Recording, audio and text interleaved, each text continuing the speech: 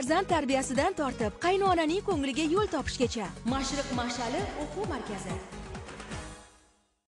Ko'rsatuv homiysi elc o'yinchoqlar do'koni. Assalomu alaykum. Biz har kuni o'zimiz sezmagan holda atrofga go'zallik bag'ishlaymiz. Tabassum sof niyat va mehrimiz bilan sug'diyona video talqini qalbingizni beg'ubor tuyg'ularga to'ldirsa ajabmas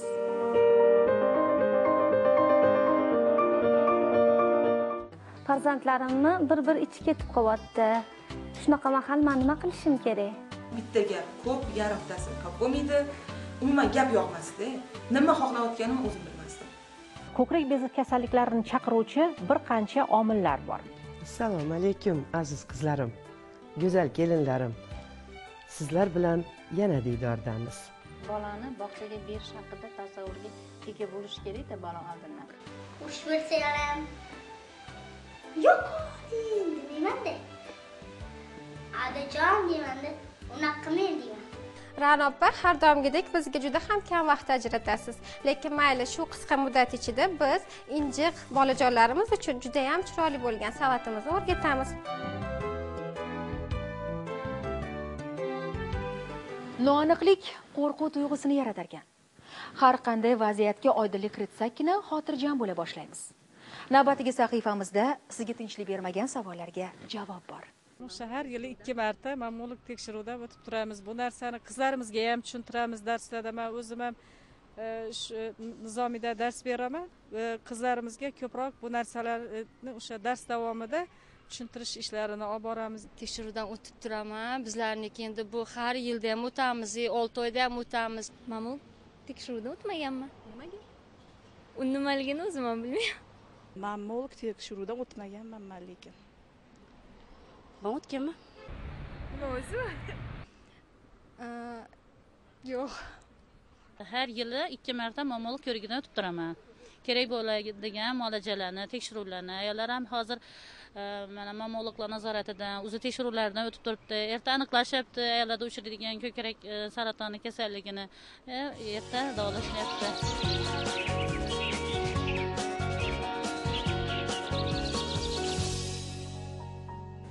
oila to'la to'kis baxtli bo'lishi uchun avvalambor ayol sog' salomat bo'lishi kerak. Qadrli teletomoshabinlar hozir biz ko'krak bezi kasalliklari haqida suhbatlashamiz. Bugun bir emas ikkita mutaxassisimiz borlar. Ulardan dilobar mirrahimova mamologlar va shu bilan birga psixolog azizbek ahrorov xush kelibsiz studiyamizga. Rahmat dilobar opa ko'krak bezi kasalliklari haqida bizga ma'lumot bersangiz Э, umuman ko'krak bezi kasalliklari haqida gapiradigan bo'lsak biz bu kasalliklarni ikki guruhga bo'lishimiz mumkin. Ko'krak bezini onkologik kasalliklari hamda ko'krak bezini noonkologik kasalliklari. Ko'krak bezini onkologik kasalliklariga ko'krak bezi saratoni kiradi. Lekin shu bilan bir qatorda ko'krak bezining bir muncha noonkologik kasalliklari ham mavjud. Bu kasalliklarga asosan mastopatiya kasalligi kiradi. Aynan shu mastopatiya ko'krak bezi saratoniga olib kelishi mumkinmi? Bilasiz mastopatiya kasalligini ham biz ikki guruhga bo'lamiz. Bu mastopatiyaning diffuz formasi hamda mastopatiyani tugulli shakli. Mastopatiyani diffuz shaklini biz konservativ yo'l bilan davolashimiz mumkin. Lekin mastopatiyani tugulli formasi mana shu aynan shu shakli demak ko'krak bezi rakiga olib kelishi mumkin. Shuning uchun ham mastopatiyani tugulli shaklini albatta operativ yo'l bilan davolashimiz shart. O'zi nima sababdan paydo bo'ladi? Ana shu muammolar. Ko'krak bezi kasalliklarini chaqiruvchi bir qancha omillar bor. Bularni hozir sanab o'tamiz. Misol uchun nasliy omil. Agarda onasida ko'krak bezi saratoni bo'ladigan bo'lsa bu kasallik qizlariga o'tishi mumkin. Yoki bo'lmasa ayol kishidagi surunkali e, ginekologik kasalliklar yoki bo'lmasa mana shu jinsiy a'zolardagi surunkalik shamollar jarayonlari ko'krak bezi kasalliklariga olib kelishi mumkin. Qalqonsimon bez e, faoliyatining buzilishi yoki bo'lmasa ayolda bo'ladigan stress holatlar yoki bo'lmasa qator qator qilinadigan sun'iy homilani sun'iy tarzda olib tashlash yoki bo'lmasa abort deb aytamiz mana shu holatlar ham ko'krak bezi kasalliklariga olib kelishi mumkin. Qanday qilib oldini olishimiz mumkin? Ayol kishi muntazam tarzda mutaxassis ko'rigidan o'tib turishi kerak. Agarda ayol kishini yoshi qirqdan oshgan bo'lsa mana shu ayollarga biza mammografiya tekshiruv usulini taklif qilamiz mammografiya bu ko'krak bezi to'qimasini rentgen nurlari yordamida tekshirish usuli. Aynan mammografiya usuli bilangina biz ko'krak bezi saratonini erta bosqichda aniqlashimiz mumkin. Dilobar bitta tanishimda mastopatiya aniqlandi. Endi u hozir aytishicha e, agarda yana bir farzandni tug'sam aynan shu mastopatiyadan xalos bo'larkanman degan fikrda bu qanchalik fikr to'g'ri? Endi bilasizmi ayollarimizni orasida shunaqa gaplar yuradi. Farzand tug'sam ko'kragimdagi tugun so'rilib ketarkan yoki bo'lmasa kasalimdan e, xalos bo'larkanman degan e, fikrlar yuradi. Bilasizmi mana misol uchun har bitta a'zo insonga berilgan o'zini hayot davomida o'zini funksiyasini bajarishi kerak. Misol uchun bachadon bilan ayol kishi tug'adi ko'krak bilan emizadi oyoq bilan yuradi ko'z bilan ko'radi va hokazo va hokazo. Agarda misol uchun ayol kishi farzand tug'ib e, farzandini ko'kragi bilan emizadigan bo'lsa albatta bu narsa ko'krak beziga ijobiy ta'sir qiladi. Lekin misol uchun ayol kishini beshta farzandi boru e, uni tug'ish keyingi farzand ko'rish rejasi yo'q. Unaqa holatlarda biz ayolga bunaqa taklif berolmaymiz. Uni bola tug'masa ham e, demak ayol kishini ko'kragini davolash mumkin. Azizbek sizga savol bilan murojaat etmoqchiman. Eshitishimcha yillar davomida yig'ilgan arazgina xafagarchilik ayollarda e, mana shu ko'krak bezi saratonini keltirib chiqarar ekan siz psixologik nuqtai nazardan bu fikrga qanday qaraysiz? Haqiqatdan ham e, ko'krak bezi saratoni umuman boshqa saraton turlari kabi psixosomatik kasalliklar turlariga kiradi va psixologiya nuqtai nazaridan ko'krak bezi saratonini kelib chiqishining bir necha sabablari bo'ladi. Bulardan jumladan e, tinchlik bermayotgan sirni saqlash u balki o'zingizni yoki boshqaning siri bo'lishi mumkin. Ma'lum bir shaxsga yoki ma'lum bir holatga bo'lgan xafalik hissini saqlab yurish yoki e, ma'lum bir shaxsga nisbatan bo'lgan aybdorlik hissini ma'lum bir Mhm. holatga nisbatan aybdorlik hissi oilaviy hayotdan a, to'la to'kis qoniqmaslik a, yoki vijdon azobi nafrat tuyg'usi kabi bundan tashqari chuqur ruhiy jarohat ham a, ko'krak bezi saratoni kasalliklariga olib kelish xavfini mana tug'diradi shunday salbiy his tuyg'ular keltirib chiqaradi. Ayol kishi buning uchun nima qilish kerak? Mana shu saraton kasalligi bo'lmasligi uchun oldini olish uchun qanday tavsiyalarni aytgan bo'lardingiz agarda kasallikka uchramagan hollar bo'ladigan bo'lsa albatta buni inson o'z qo'lidan keladigan bo'lsa negativ his tuyg'ulardan xoli bo'lib yurishni tavsiya qilgan bo'lardik. Imkoniyat darajasida o'z ustida ishlab kerakli adabiyotlarni o'qib yuqorida ta'kidlab o'tilgan his tuyg'ulardan xolis bo'lishlarini tavsiya qilgan bo'lar edik. Masalan qanaqa adabiyotlar?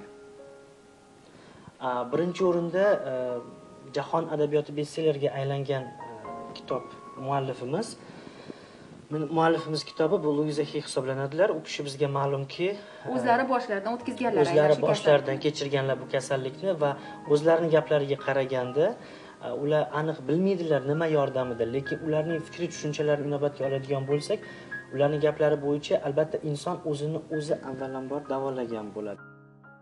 O'n birinchi yilda shahar onkologiyaga borib o'zimni ko'rsatdim doktordan mamologlardan o'tdim. Shu mamologlardan o'tgandan keyin xulosa qilishdi.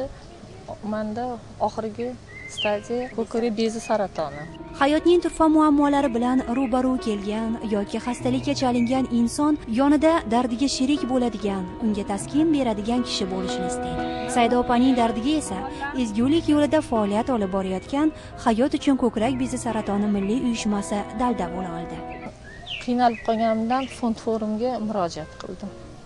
Ariza bilan ularga judayam minnatdorman. Ayniqsa gulnara karimovaga shu fond forum uyushmasini tashkil qilgani uchun man judayam minnatdorman. Shu hayot uchun ular kurashayotgani uchun man ham ular bilan birga hayot uchun kurashyapman. Ta'kidlash kerakki fond forum hayot uchun ko'krak bezi saratoni milliy uyushmasi ayollar kengashi respublika jamoat birlashmasi saida opa singari xastalikka chalingan minglab ayollarni qo'llab quvvatlash borasida keng qamrovli loyihalar amalga oshirmoqda. Bepul tibbiy ko'riklar turli ijtimoiy aksiyalar buning isbotidir. Uyushma shuningdek bemor opa singillarimizni bepul dori darmonlar bilan ham ta'minlaydi. Birgina joriy yilning boshida 65 nafar ana shunday xotin qizlarga ko'mak ko'rsatildi bir maqsad bizni birlashtiradi.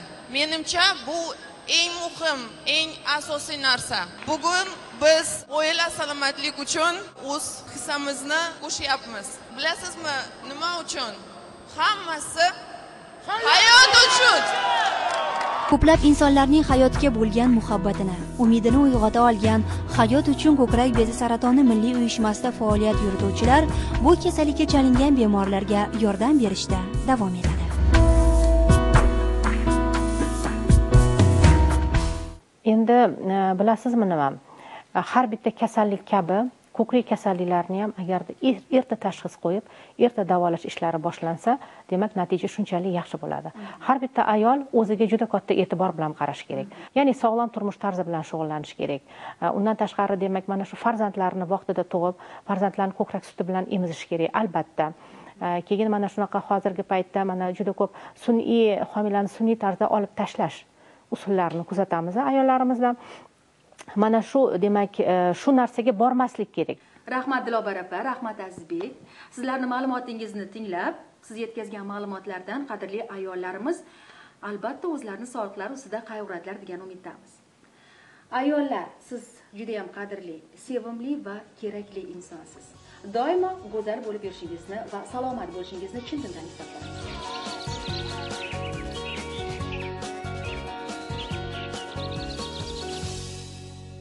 ikkinchi farzandimda homiladorlik bo'lgan paytimda kechqurun yarim kechasi e, bilmadim uyda qolmagan ekanmi tuzlangan qishda tuzlangan pomidor yegim kelib qolgan. O'sha tuzlangan pomidorni xo'jayinimlarga aytganman o'sha hozir yegim kelyapti bilmayman tun ikkimi uchmi soat shunaqa edi eslasam keyin bular mayli deb e, ko'chaga chiqib ketgan lekin o'sha tuzlangan pomidorni topolmasdan e, tuzlanmagan haqiqiy pomidorni topib olib kelganlarda e, o'sha pomidorni ko'rib janjal qilganman menga tuzlangani kerak. E, unaqa haqiqiy pomidor kerak emas deb rosa yig'laganman. Xuddi yosh bolaga o'xshab e, keyin ozginadan keyin o'zimga kelib qolganman. Keyin tuzlangan pomidor topib kelganlarida yegim kelmagan umuman yemagan olib kelganlarida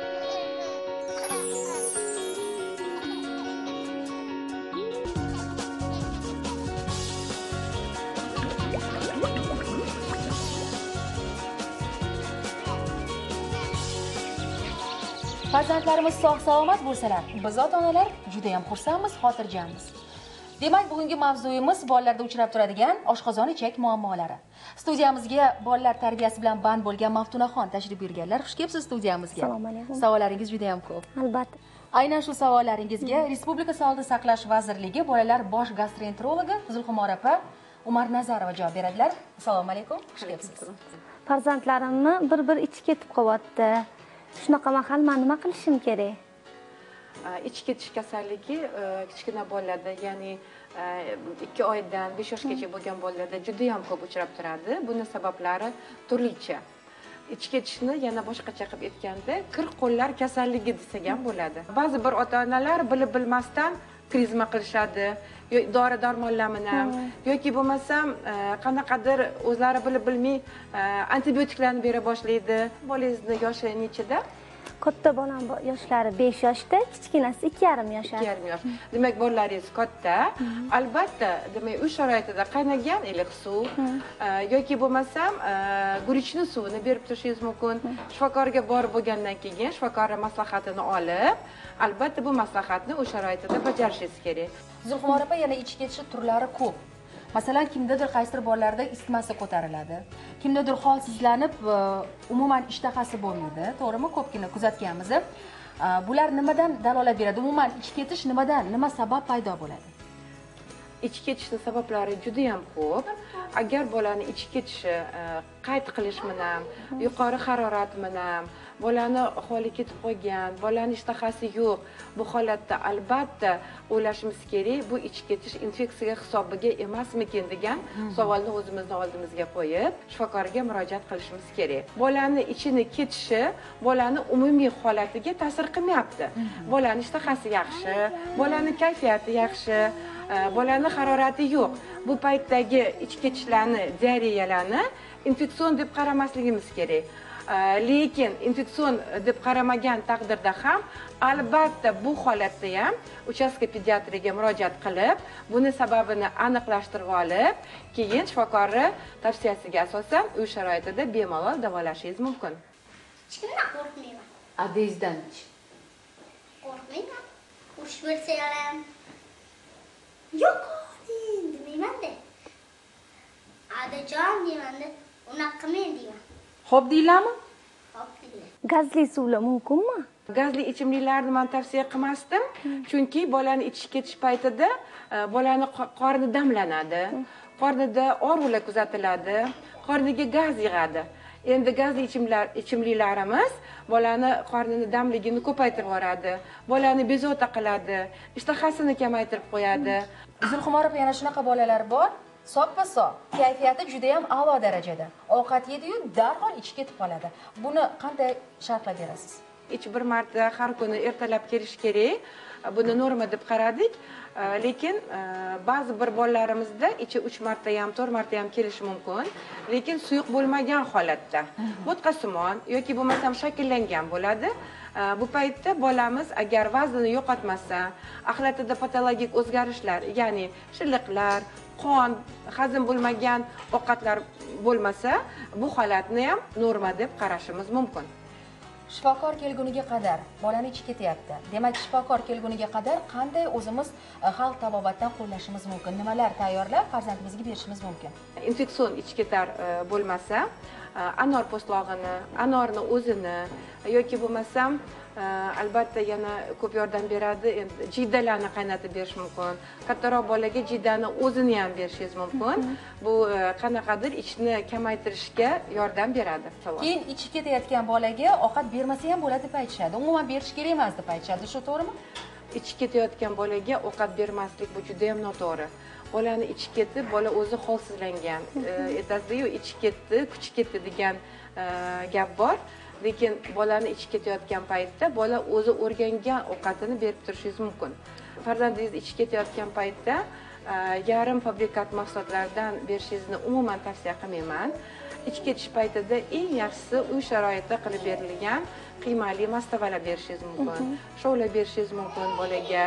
Lekin bolani och qoldirish judayam noto'g'ri.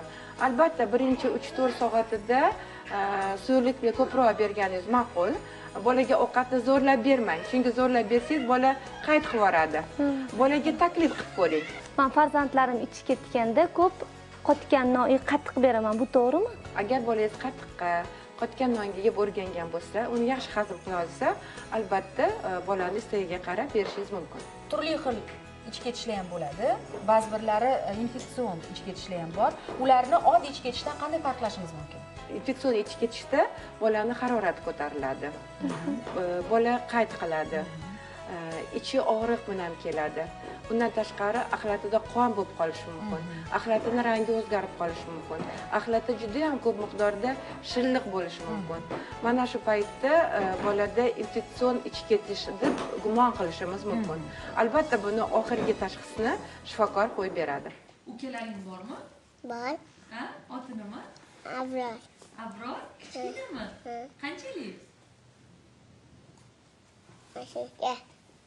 ichki ketishni oldini olishimiz uchun bolani qo'lini toza tutishimiz kerak. Qo'lini bir kunda bir necha marta kir sovlab yuvish kerak.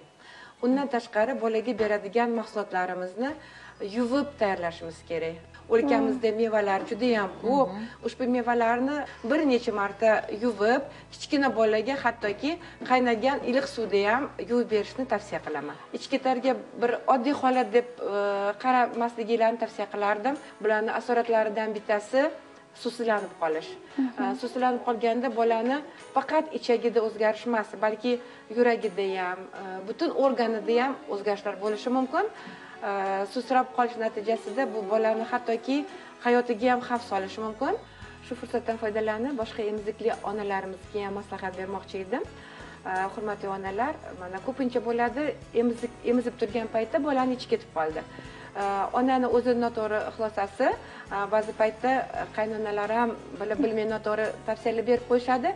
Sizni sutingiz yomon bolaga yoqmabdi э, degan ma'noda va onalarimiz albatta bolani sutdan ajratib qo'yadi. Ya'ni bolani ichini ketishini sut bilan noto'g'ri bog'lab qo'yishadi. Hurmatli onalar farzandingiz uchun sizni sutingizdan qimmatliroq yaxshiroq oziqa topolmaysiz zulxumor opa mana ko'krak suti haqida gap ochdingiz. Ba'zi birlar yozda ko'krakdan ajratsam mana shu ko'krak sutidan ajratsam ichi ketib qoladi deb o'ylashadi bu qanchalik haqiqatga yaqin? Bu endi juda haqiqat juda ham haqiqatga yaqin deb aytolmayman. Chunki ko'pincha bolalarni ichi yoz faslida ketadi. Yoz faslida ko'krakdan ajratgandan keyin mana shu bolani ichini ketishini ko'krak bilan ajratish ko'krakdan ajratish bilan bog'lashadi zulxumor opa ba'zi bir ota onalar davolash maqsadida farzandlariga e, qora nobodli choy berishadi. To'g'rimi? Bu albatta noto'g'ri chunki e, shirin choy novvot bolani qornidagi e, meteorizmni ya'ni qorin damligini ko'paytirib boladagi og'riqlarni kuchaytirib qo'yishi mumkin. Chunki haddan tashqari shirin choylarni bolaga ichib ketish paytida tavsiya qilinmaydi. Rahmat. Judayam ko'p savollarimizga javoblarni oldik maftunaxon studiyamizga tashrif buyurganingizdan juda yam xursandmiz. Siz uchun e, mashriq mash'ali o'quv markazidan bir oylik bepul kurs uchun sertifikatimiz bor. Albatta homiladorlik davridan tortib to bola parvarishlagacha ko'pgina ma'lumotlarga ega bo'lishingiz mumkin va malakali mutaxassislar sizga ko'p savollaringizga to'g'ri javoblarni aniq javoblarni beradilar. Sizga taqdim etamiz. Rahmat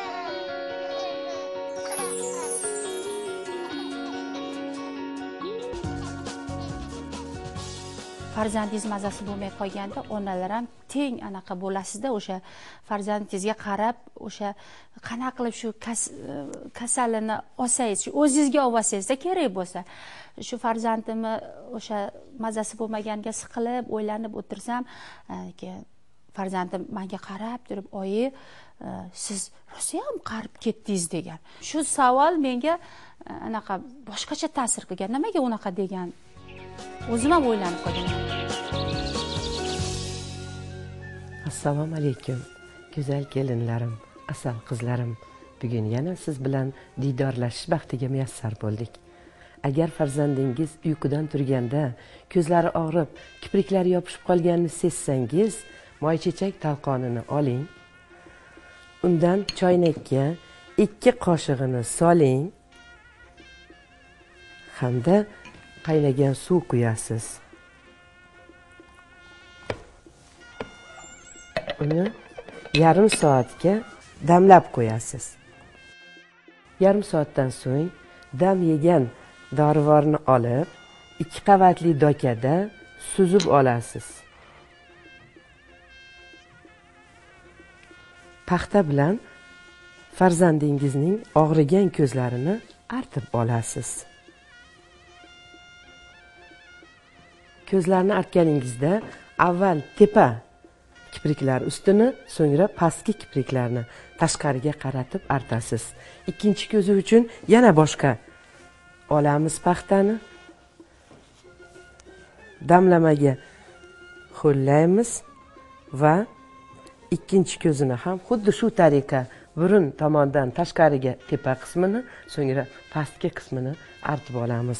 Bu muolajani bir necha marta takrorlasangiz farzandingizning ko'zlari tuzaladi shamollashi ketadi. Yana u sizga munchoq ko'zlarini javdiratib mamnun boqadi.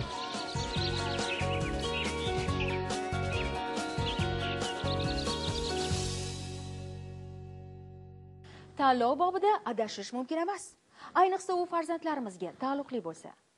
Farzandimni mahallamizga qaysi bog'chaga bersamikin umuman farzandim bog'chaga borishga tayyormi aynan shu kabi savollarga to'g'ri javobni topasiz va albatta to'g'ri tanlovni amalga oshirasiz.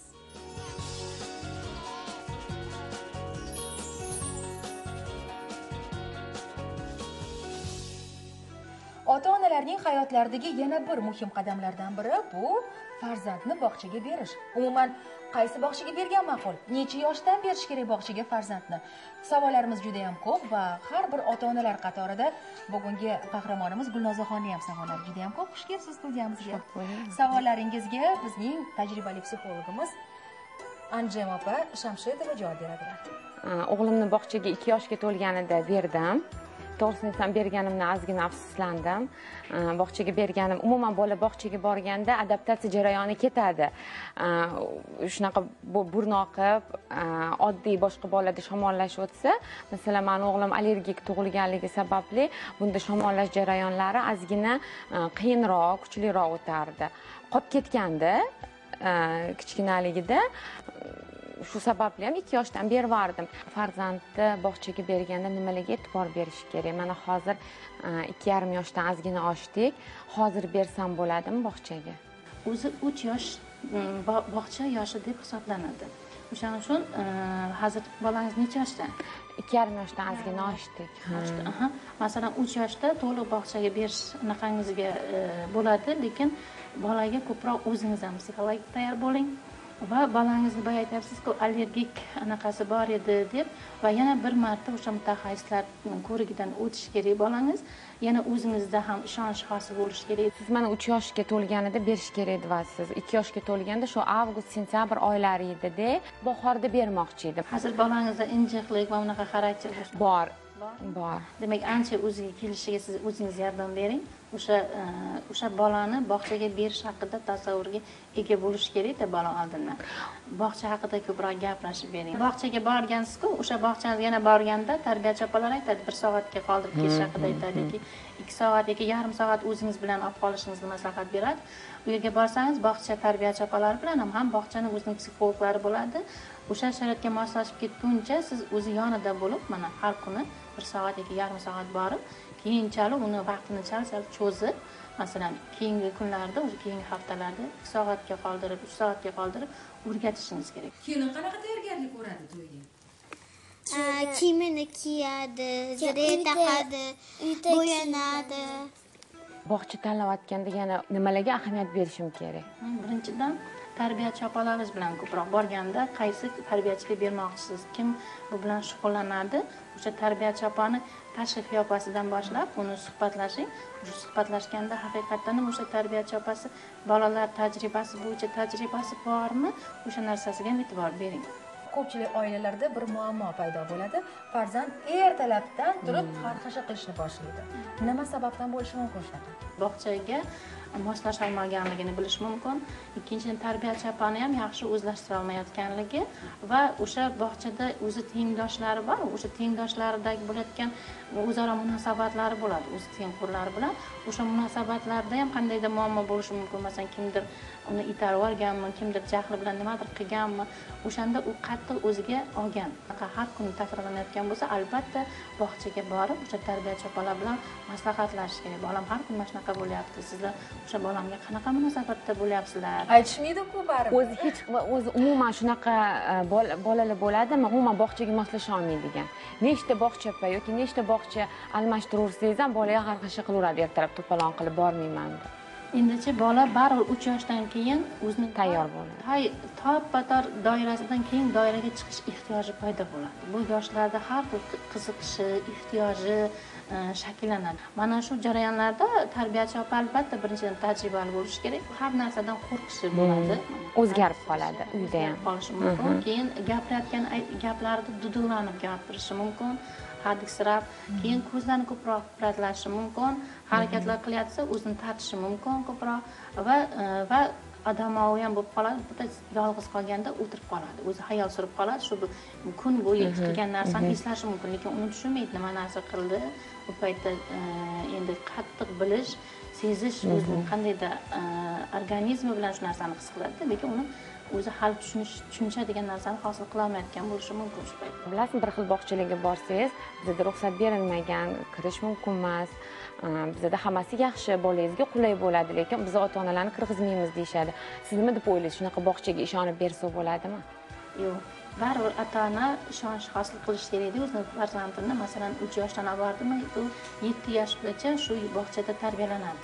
Qarangki shuncha vaqt ichida o'sha bog'chada nimani o'rganadi o'zini qanaqa e, tutadi qanaqa o'zgarish bo'lishi mumkin buni hamma ota ona bilishni xohlaydi o'shaning uchun borib buni so'ragani yaxshi lekin o'sha tarbiyachi opalari ham kerak bo'lsa sizni qabul qilayotgan o'sha mudirlari ham tanishtirishi kerak bu haqida. Bog'cha yaxshimi maktab yaxshimi? Maktab. Maktab yaxshimi bog'cha yaxshimi? Bog'cha yaxshi emasmi yaxshi. Nima yaxshi ko'proq? Bog'cha javobi ba'zi bir ota onalar ikki uch yoshli farzandini sal kattaroq bolalar bilan tarbiyalanishini juda ham istaydi. Ana shunday e, olti yetti yoshli bolalar tarbiyalanayotgan guruhga berishni istaydi. Bu qanchalik to'g'ri? Ota ona albatta bu yerda noto'g'ri o'rin tutayotgan bo'ladi. Sababi agar shunaqa o'zidan yoshi kattalar guruhiga qo'shib qo'ygan bo'lsa keyinchalik bolada har doim qandaydir ikkilanish qilayotgan ishida o'ziga ishonchsizlik paydo bo'ladi va har doim orqada e, oldingi birinchi qadamni boshlamaydida boshqalarni kutib turib o'zini mustaqil harakatlariga ham e, shubhalanib qarab turadigan e, hislatni shakllanadi faqat ota ona bu yerda shoshib harakat qilyapti. Ko'proq ota ona emas bu yerda bog'chadagi bola tarbiyalanyapti. O'sha bog'chaning o'sha yosh xususiyatlarni hisobga olish kerak ota ona bolamni bog'chaga berganimdan keyin masalan boshidagi bir oydami yo ikki oymi nimalarga ahamiyat berishim kerak? Mana bolani bog'chaga birinchi berganda siz e, bolada ko'proq suhbatlashing.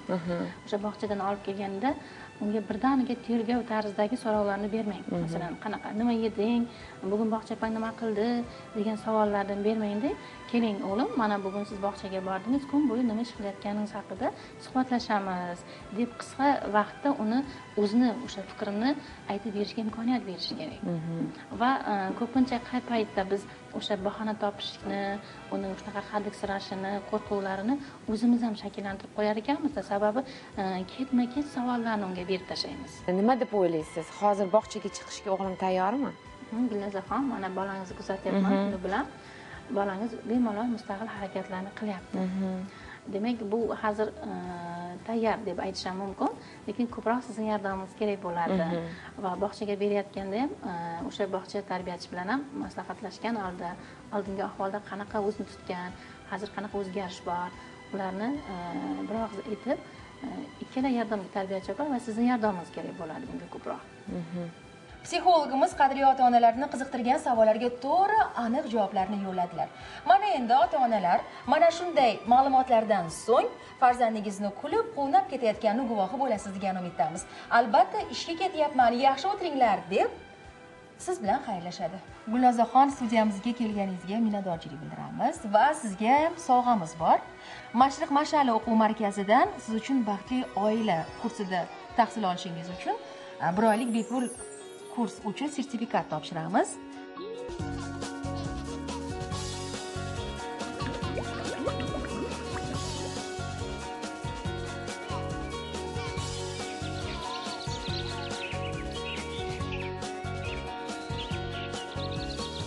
albatta kechqurun ertalab uyg'onishida ham erkalatib ertalatib uyg'otaman lekin man eh,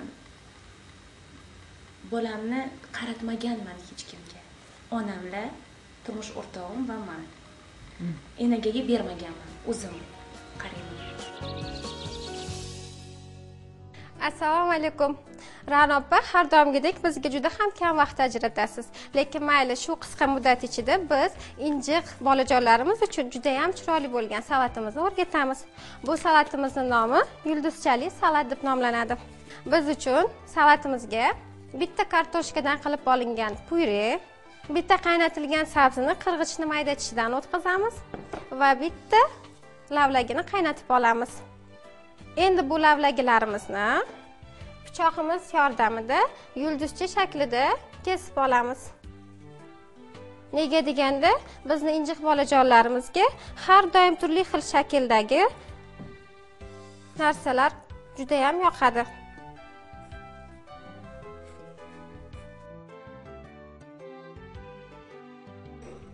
Lavlagidan yasab olingan yulduzchalarimizni qo'yganimizdan so'ng qirg'ichni mayda maydatishidan o'tkazilgan sabzilarimiz mana bu qolipchamizga yulduzcha shaklida joylashtirib olamiz. Yana bilasizlarmi aziz oyijonlar sabzi kartoshka farzandlarimiz uchun juda yam foydali ekan.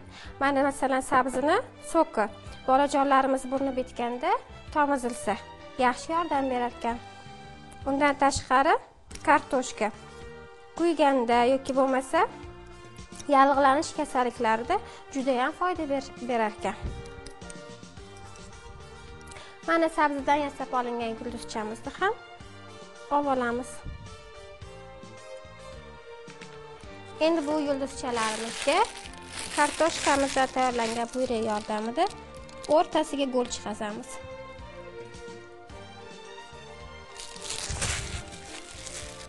Mana tayyor bo'lgan bu salatimizni endi bolajonlarimizga yoqimli qilib bezatib berishimiz mumkin. Xo'sh qalay ra'no opa qisqa muddat ichida shunday taomni tayyorlaganimizga qoyil qoldingizmi? Aziz onajonlar bunday chiroyli salatimizni farzandlarimizning taomnomasiga albatta kirgizib qo'ying va bolajonlarimizga yoqimli ishtaha deyishni unutmang.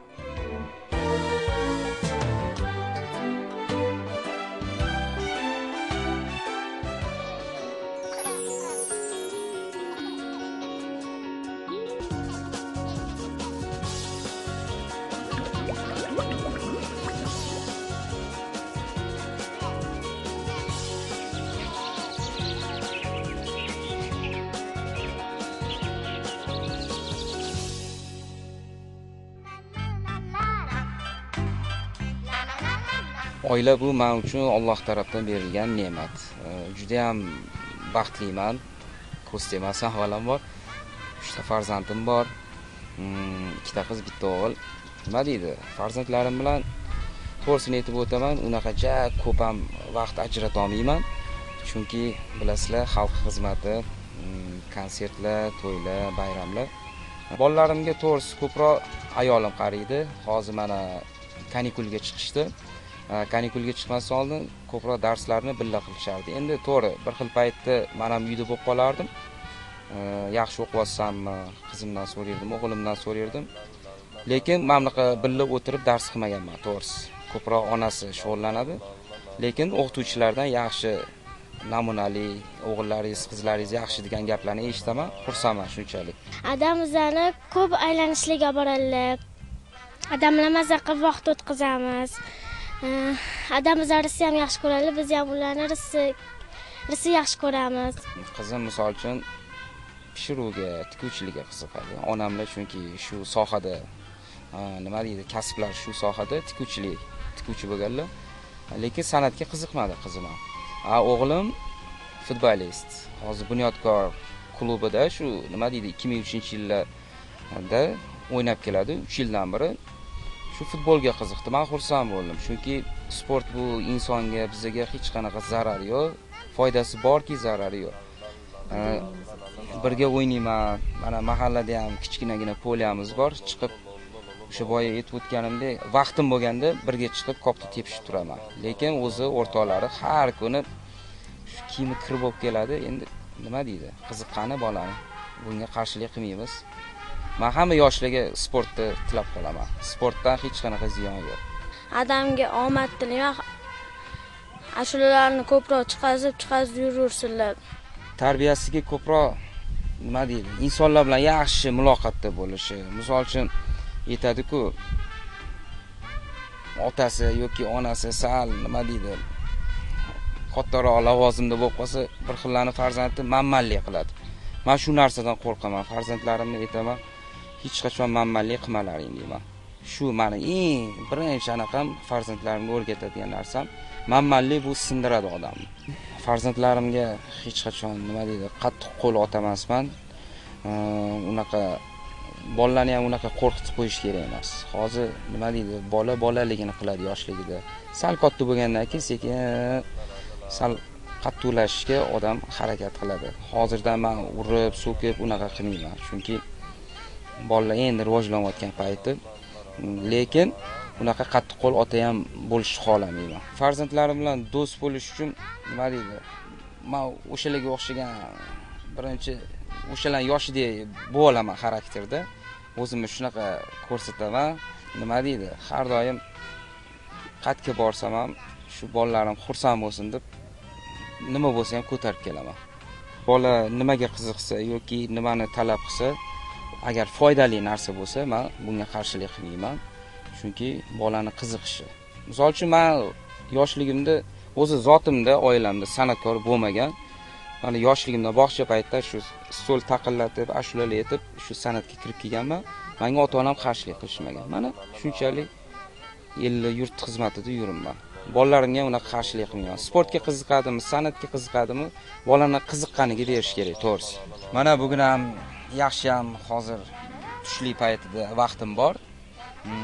Bolalarim bilan shu toza havoda ozgina o'ynagani chiqdim. Mana hozir birpas turib o'g'lim bilan kopni tepishamiz bu ham o'zimga o'g'limga foyda. Odamni yaxshi ko'raman